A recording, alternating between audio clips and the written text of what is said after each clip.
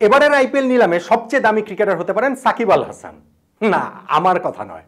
ভারতের সাবেক পেসার আশিস নেহারা অমনটাই প্রেডিক্ট করেছিলেন। তার প্রেডিকশন ঠিক হয়নি, ধারে কাছেও যায়নি। কলকাতা নাইট রাইডার্স সাকিবকে কিনে নিয়েছে তিন কোটি বিশ লাখ রুপিতে, যেখানে ইংল্যান্ডের অলরাউন্ডার মৈনালির মূল্য এর ডাবলেরও বেশি, সাত কোটি রুপি। ভারতের হয়ে কখনোই আন্তর্জাতিক ম্যাচ না খেলা কৃষ্ণাপ্পা গৌতমের মূল্য তিন গুণ নয় কোটি পঁচিশ লাখ রুপি। এবং সাকিবের প্রায় পাঁচ গুণ মূল্যে চোদ্দ, পনেরো, ষোলো কোটি রুপিতে বিক্রি হন Jhye Richardson, Kyle Jamieson, Chris মরিসরা। কেন? সাকিবের মূল্যটা আইপিএল এর নিলামে এত কম কেন?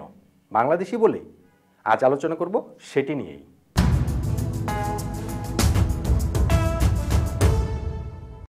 সাকিবের সামর্থ্য কি সেটি নিশ্চয়ই আইপিএল এর আটটি ফ্র্যাঞ্চাইজির সবারই ভালোভাবে জানা।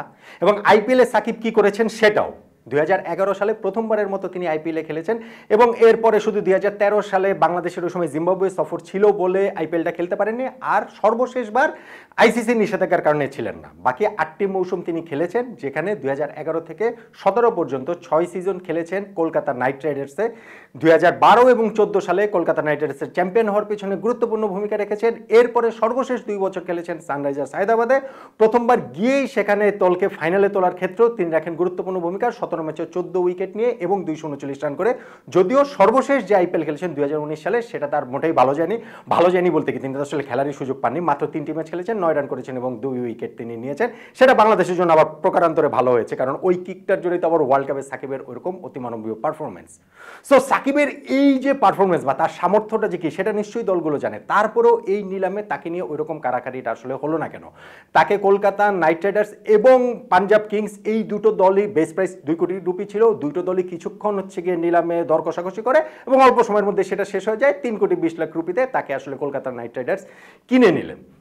এটা আশ্চর্যজনক হয়ে যায় যখন আপনি এই সাকিবের চেয়ে সমমানের বা সাকিবের চেয়ে খেলোয়াড়ি সামর্থ্যে যারা পিছিয়ে আছেন, বেশ পিছিয়ে আছেন তাদের এই আইপিএল মূল্যটা দেখলে। ধরুন ইংল্যান্ডের মইন আলী তিনিও তো স্পিনিং অলরাউন্ডার তাকে হচ্ছে গিয়ে তার মূল্য উঠে যায় সাত কোটি রুপি এবং এই টাকা দিয়ে তাকে কিনে নিয়েছে হচ্ছে গিয়ে চেন্নাই সুপার কিংস। আবার ভারতের বলছিলাম যে ওই ইয়ের কথা হচ্ছে গিয়ে, এই গৌতমের কথা, যাকে নয় কোটি পঁচিশ লাখ রুপি দিয়ে কেনা হয়েছে, কিনেছে ওই চেন্নাই সুপার কিংসই, যার বেস প্রাইস ছিল মাত্র বিশ লাখ রুপি। বিশ লাখ রুপিটা নয় কোটি পঁচিশ লাখ রুপি পর্যন্ত চলে গেছে এই গৌতমের আসলে আইপিএল এর পারফরমেন্স কি? মানে সামরিক পারফরমেন্স কি দেখেন? গতবার তিনি দুই ম্যাচ খেলে করেছেন মাত্র মানে একটি মাত্র উইকেট নিয়েছেন অফ স্পিনিং অলরাউন্ডার কর্ণাটকের বত্রিশ বছর বয়সী। দুই ম্যাচে গতবার নিয়েছেন হচ্ছে গিয়ে এক উইকেট এবং বিয়াল্লিশ রান করেছিলেন। তার আগের বারও গতবার পাঞ্জাবে খেলেছেন, তার আগের বার খেলেছেন হচ্ছে গিয়ে রাজস্থান রয়্যালসে। সেখানে সাত ম্যাচ খেলে নিয়েছেন তিনি ওই একটা মাত্র উইকেটই করেছিলেন, কত আঠারো রান করেছিলেন। অথচ তার মূল্যটা এত বেশি হয়েছে। আচ্ছা ঠিক আছে, ধরলাম। সেটা না হচ্ছে গিয়ে ভারতীয় সেই হিসাবে মূল্যটা হচ্ছে বেড়েছে। কিন্তু ওই বিদেশি কোটায় ওভারসিজ কোটাতে প্লেয়ারদের মূল্য তো অনেক বেড়ে গিয়েছে। বা এই নিলামেও আমরা দেখেছি। ইয়ের কথাটা তো বললামই, মৈনালির কথাটা তো বললামই। ক্রিস মরিস, দক্ষিণ আফ্রিকার যে পেস বোলিং অলরাউন্ডার তার মূল্য তো উঠতে উঠতে ষোলো কোটি পঁচিশ লাখ রুপি পর্যন্ত চলে গিয়েছে। গতবারের আইপিএলটা জঘন্য কাটা গ্লেন ম্যাক্সওয়েলের মূল্য উঠে গিয়েছে হচ্ছে গিয়ে চোদ্দ কোটি পঁচিশ লাখ পর্যন্ত। চোদ্দ কোটি পঁচিশ লাখ দিয়ে তাকে হচ্ছে গিয়ে রয়্যাল চ্যালেঞ্জার্স বেঙ্গালোর নিয়েছে। আর ক্রিস মরিসকে তো নিয়েছে হচ্ছে গিয়ে রাজস্থান রয়্যালস। আবার দেখুন হচ্ছে গিয়ে নিউজিল্যান্ডের যে pace bowler Jamieson, Kyle Jamieson, তার মূল্য উঠে গেছে পনেরো কোটি রুপি।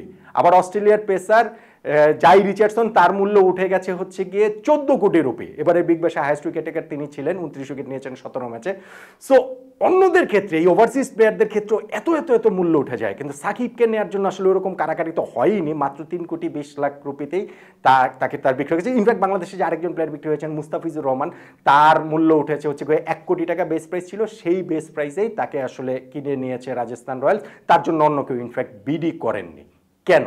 দেখুন, আমি বুঝি যে আইপিএল এর দলগুলোর চাহিদা আলাদা আলাদা থাকে। এক এক দলের চাহিদা হয়তো এক এক রকম থাকে। কেউ স্পিনিং অলরাউন্ডার চায়, কেউ পেস বোলিং অলরাউন্ডার চায়। আবার পঁচিশ জনের বেশি প্লেয়ার নেওয়া যাবে না, আট জনের বেশি ওভারসিজ প্লেয়ার নেওয়া যাবে না পঁচাশি কোটি রুপির বেশি খরচ করা যাবে না, নানান বাইন্ডিংস তো রয়েছে। কিন্তু সাকিবের ক্যাটাগরির প্লেয়াররাই তো মৈনালির কথা বলেছি যে তার চেয়ে দ্বিগুণ মূল্যে বিক্রি হয়েছেন। বা ভারতীয় হওয়ার সুবাদেই কি ওই গৌতম সাকিবের চেয়ে তিন গুণ বেশি মূল্যে বিক্রি হবেন? সেটা তো আসলে ফেয়ার হয় না। ফেয়ার হয় না বলতে যে অবভিয়াসলি এটা হচ্ছে কি ফ্র্যাঞ্চাইজি ক্রিকেট যাদের প্রয়োজন রয়েছে তারা নিবে, যাদের প্রয়োজন রয়েছে নেবেন না। কিন্তু যখন আপনি এই আইপিএলে নিলামটা দেখবেন, তখন অন্যদের মূল্য যখন দেখবেন, তখন সাকিবের এই মূল্যটা আসলে অনেক কম মনে হতে বাধ্য। একটা কারণ হতে পারে যে, যেই এপ্রিল মে মাসে যে আইপিএলটা হবে, ওই সময় বাংলাদেশ ন্যাশনাল টিমের বিজি থাকার চান্স রয়েছে। এপ্রিলে হচ্ছে গিয়ে শ্রীলঙ্কাতে বাংলাদেশে টেস্ট সিরিজ খেলতে যাওয়ার কথা এবং মে মাসে শ্রীলঙ্কা দলের আবার বাংলাদেশে আসার কথা ওয়ান ডে সিরিজ খেলার জন্য। সো পুরো আইপিএলে সাকিব হয়তো অ্যাভেলেবেল থাকবেন না, সেই কারণে হয়তো তার মূল্যটা একটু কম হতে পারে। মুস্তাফিজের ক্ষেত্রেও সেটা বলা যায়। যদিও মুস্তাফিজেরও কিন্তু আইপিএলের স্পেশালি শুরুটা কিন্তু দুর্দান্ত হয়েছিল। দু হাজার ষোলো সালে সানরাইজার্স হায়দ্রাবাদকে চ্যাম্পিয়ন করানোর পথে তিনি ষোলো ম্যাচে সতেরো উইকেট নিয়েছিলেন এবং ইমার্জিং প্লেয়ার অফ দ্য টুর্নামেন্টে পুরস্কার জিতেছিলেন। যদিও তারপরে এবার তিনি মাত্র একটা ম্যাচে একাদশে ম্যাচে একাদশে খেলার সুযোগ পান। এরপরে সানরাইজার্স হায়দ্রাবাদ তাকে ছেড়ে দেয়, মুম্বাই ইন্ডিয়ান্সে খেলেন, সাত ম্যাচে সাত উইকেট নিয়েছিলেন। সাকিব সেখানে ফিরেছেন হচ্ছে গিয়ে তার ঘর মানে ঘরের ছেলে ঘরে ফিরেছেন কলকাতা নাইট রাইডার্সে। যে কলকাতা নাইট রাইডার্সকে দুই হাজার বারো এবং চোদ্দ সালে চ্যাম্পিয়ন করানোর পথে সাকিব খুব ভীষণ গুরুত্বপূর্ণ ভূমিকা রেখেছেন। দুই হাজার বারো সালে আট ম্যাচে তিনি হচ্ছে গিয়ে বারো উইকেট নেওয়ার পাশাপাশি একানব্বই রান করেছিলেন এবং ওই যখন উইনিং অবস্থাটা মানে ওই দলকে জেতানোর সময়টাতে তিনি ক্রিজে ছিলেন। আর দুই হাজার চোদ্দ সালে তো তেরো ম্যাচে এগারো উইকেট নেওয়ার পাশাপাশি দুশো সাতাইশ রানও সাকিব করেছিলেন। সো এবার নিশ্চয়ই তিনি কলকাতায় ফিরেছেন। কলকাতায় এমনিতেই আমাদের আবেগের জায়গা। যেহেতু বাঙালি ভাষাভাষী, তারাও আমাদের মতো। সো নিশ্চিতভাবেই আমাদের সবার সমর্থন কলকাতা নাইট রাইডার্সের প্রতি প্রবলভাবে থাকবে। একই সঙ্গে মুস্তাফিজের জন্য রাজস্থান রয়্যালসের দিকেও থাকবে।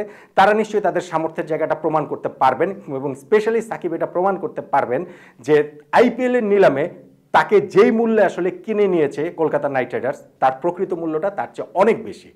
আজকের নিলামটা যেভাবে হয়েছে, অন্যান্যরা, ক্রিকেটাররা যেই মূল্যে বিক্রি হয়েছেন, অন্য অনেক ক্রিকেটার, তাতে আমি আসলে এটাতে কনভিন্স যে সাকিবের তিন কোটি বিশ লাখ রুপির চেয়ে আরও বেশি মূল্য পাওয়াটা উচিত ছিল। আমি কনভিন্স আপনি কি মনে করেন না যে সাকিবের মূল্যটা আসলে এর চেয়ে বেশি হওয়া উচিত ছিল? এবং হয়তোবা হয়তোবা, শুধুমাত্র বাংলাদেশি হওয়ার কারণেই এই মূল্যটা হয়তো সাকিব পাননি। যে কিছুদিন আগে সাকিব যে কথাটা বলছিলেন যে, বাংলাদেশি হিসেবে, বাংলাদেশি বলেই ক্রিকেটার হিসেবে আমি মূল্য পাই না। তিনি ওই মূল্যটা বুঝিয়েছেন যে মানে সম্মান অর্থে, স্বীকৃতি অর্থে। আর আইপিএলের এখানে আর্থিকভাবে সেই মূল্যটাই হয়তো সাকিব আল হাসান পাননি, বাংলাদেশি বলেই শুধুমাত্র।